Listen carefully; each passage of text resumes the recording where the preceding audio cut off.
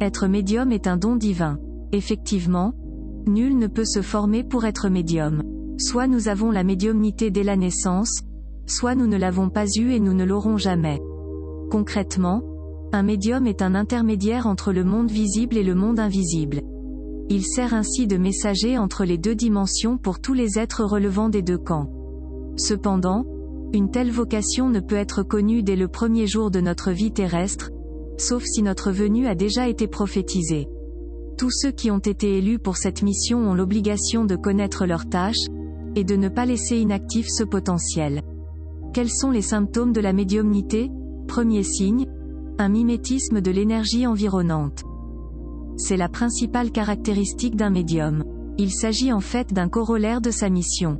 Pour que le médium assure bien son rôle de pont, Dieu lui a alloué une habileté à s'adapter à toutes les fréquences séparant les deux mondes. Avant de poursuivre la vidéo, laissez-nous vous parler du site okarma.fr. Il s'agit d'une boutique en ligne de lithothérapie et d'aide à la méditation. Grâce à un partenariat, vous pourrez obtenir 10% de réduction sur toute la boutique avec le code promo 10 Alors profitez-en, le lien est en description de vidéo. Deuxième signe, vous estimez avoir vu des esprits. Vous percevez assez souvent des formes blafardes qui émergent pour vite disparaître. Il s'agit en fait d'esprits qui ont connaissance de votre compétence. Ils rôdent autour de vous, car ils pourraient désirer vous remettre des messages. Ne les ignorez pas, la prochaine fois où vous en remarquerez une, affrontez votre rôle. Troisième signe, des rêves dans lesquels vous étiez quelqu'un d'autre. Les esprits font fréquemment recours aux rêves pour transmettre leur message.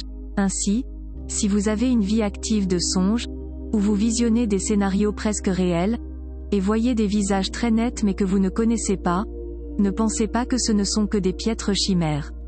Il s'agit d'informations qui vous sont transmises sous forme de vision. À vous de les interpréter et d'identifier les destinataires. Quatrième signe, une vue qui dépasse le spectre visible. Les animaux ont également ce sens. Ils captent les ultraviolets, les rayons X et gamma, les infrarouges et autres. La faculté du médium se manifeste autrement. Il perçoit l'aura des personnes humaines. L'aura est en fait un champ énergétique qui traduit les émotions. Elle est colorée, mais à chaque émotion correspond une couleur.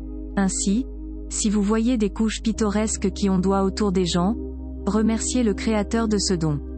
Cinquième signe, votre oui perçoit ce que les autres n'entendent pas. Cela pourrait être des sons continus, des bruits, de la musique, ou un grand vacarme très lointain. Qu'importe. Si votre oui capte ces genres de choses, alors que l'audience présente a présumé n'avoir rien entendu, il ne pourra y avoir qu'une conclusion exacte, vous avez le don de médium. Sixième signe, une intuition infaillible. Vous doutez de la survenance d'un événement.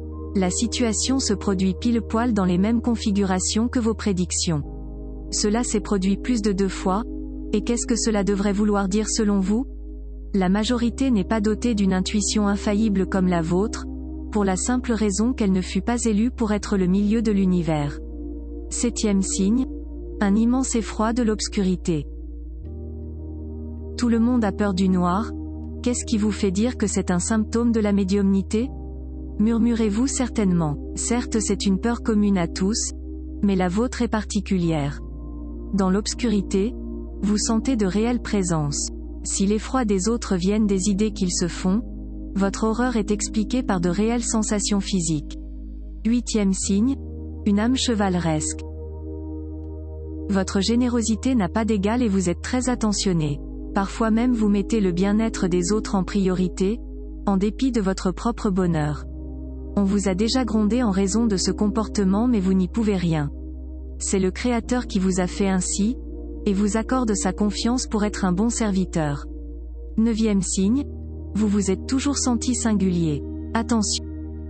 On ne parle pas ici de narcissisme, de l'outrecuidance, ou de tout autre défaut se rangeant dans cette même catégorie. On entend par singularité, le fait de présenter des caractères et des facultés autres que ceux du commun des mortels, vous comprenez le langage des animaux, votre structure émotive fonctionne différemment, etc. C'est la fin de cette vidéo et nous espérons qu'elle vous a plu. Pour nous soutenir et afin de nous motiver à vous fournir plus de vidéos d'interprétation, mettez un j'aime à la vidéo et abonnez-vous à notre chaîne. Vous pouvez aussi nous rejoindre sur Facebook, le lien est en description de vidéo. Merci et à bientôt sur Numérologie et Spiritualité.